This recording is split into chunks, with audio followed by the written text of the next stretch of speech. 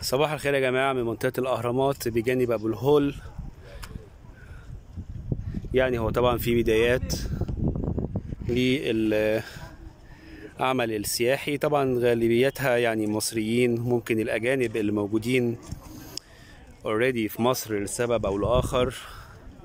بجانب بعض الضيوف هم دول رواد المنطقة. وأعتقد أغلب المناطق السياحية في الوقت الحالي إحنا في أعرق منطقة أثرية على الإطلاق ويعني أكون مش ببالغ لما بقول على الإطلاق لأن أعتقد إن مفيش مكان أثري في العالم كله بيضاهي أهرامات الجيزة على هضبة الهرم زي ما إحنا موجودين وزي ما إحنا شايفين.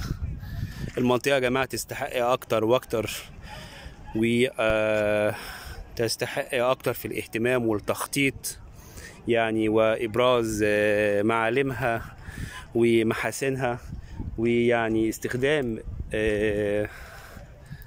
أو الاستخدام الأمثل ليها. هي ممكن تكون يعني هي مصدر دخل ممتاز بس ممكن الدخل ده يزيد أكتر وأكتر فيتحول من دخل لكنوز.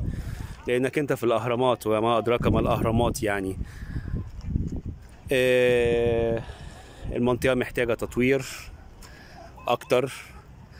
يعني محتاجة إن موضوع الخيالة موضوع الجمال يتم الاهتمام بيه أكتر يكون في منطقة يعني نوعا ما محددة. التعاملات تكون محددة أكتر طبعا يعني إخواتنا وأهالينا في نزلة السمان الناس المحترمين. يعني أنا متأكد إن هم هيكونوا في منتهى يعني التفهم وهيكون عندهم استجابة سريعة جدا لأي تطور بالذات بخصوص موضوع الخيالة والجمال اللي هم أكيد طبعا يعني شركاء فيه. بس المنطقة يعني تتطور أكتر وأكتر والموضوع ده لو اتنظم بشكل من حيث الوقت اللي بياخده السايح الفلوس أو وسيلة الدفع التعامل كويس جدا بس ممكن يكون أفضل وأفضل لو العملية يعني اتنظمت بشكل أعلى. فأنا أعتقد ده هيكون في إيجابية كتيرة للمنطقة وإيجابية كتيرة للمكان كمصدر من مصادر الدخل وحتى للشكل يعني الحضاري للمنطقه الشكل الحضاري هيتطور أكتر وأكتر. المتحف المصري الكبير المزمع يعني افتتاحه في القريب العاجل إن شاء الله. أكيد هيمثل إضافة كبيرة وممتازة للعملية السياحية ويعني هتنعكس بالإيجاب على الدخل الاقتصادي. أنا بعتقد إن ممكن يؤدي كمان يعني لزيادة الدخل في الإطار ده. يعني إطار التنمية السياحية للمنطقة عموما.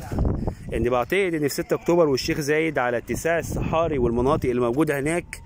هو المنطقة بالفعل فيها أماكن يعني كفنادق five stars كأماكن لل entertainment إلى آخره.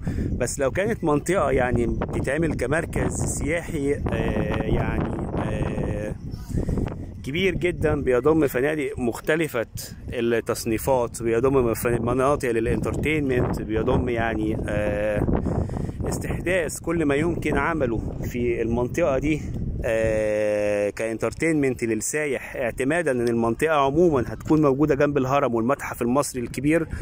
أعتقد ده هيفرق كتير جدا في العمل السياحي وفي رفع قيمتها السياحية والإقتصادية. إن شاء الله نأمل إن ده يحصل ويكون شيء مفيد لينا كلنا. شكرا.